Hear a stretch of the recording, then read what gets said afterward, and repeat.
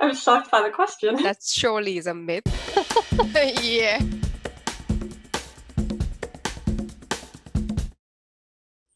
All our data center locations are top secret. Um, no, I'm just kidding. They're not in remote locations. There are some that are super convenient and have wonderful lunch options nearby. I didn't expect that would be a, a question that's asked. I would have thought people would think that our tasks are not mundane. Yeah, true. Every day you're learning something new. It's not at all mundane.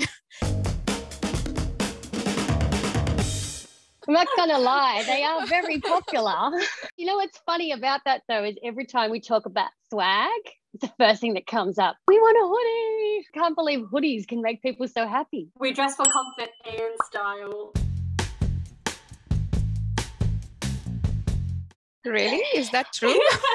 that surely is a myth. And we're very diverse with who we hire and who we have on the ground. So, no, there's not just men that work in data centers. Uh, us females are here uh, helping keep the data centers afloat as well.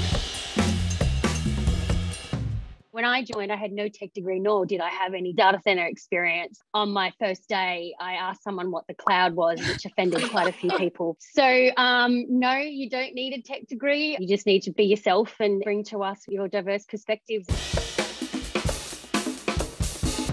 Solid disagreement all around the table, everybody. I've made so many great friends and great connections across the data center operations team. Our work is very interconnected. I still keep in contact with them consistently. It's been pretty intense um, with what we're doing, but we always manage to crack a joke or someone will put on some music. We've had Taylor Swift going in the data center before. We're all dancing around, having fun. We're very passionate, yes, but are we boring? No. No, you should see the Christmas parties. I think maybe this myth comes about because they're like, oh, a lot of the people we hire must be, uh, you know, the stereotypical geek, thick glasses, holding massive textbooks. I don't know. We end up having really interesting, deep discussions on everything from tech to changes to the community, motorcycles and cars. They're really big on that stuff. So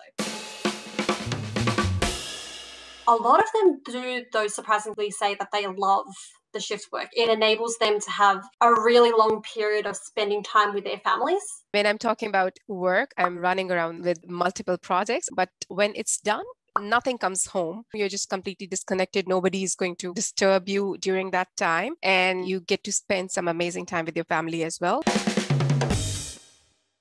I think that Amazon actually helps you out in your career growth. I am so lucky that my manager is all the time talking about uh, which areas do you think you're going to be pursuing. So there's nothing that's going to stop us here inside the data center. You choose your own career path and you work towards it, and the team will always support you with that.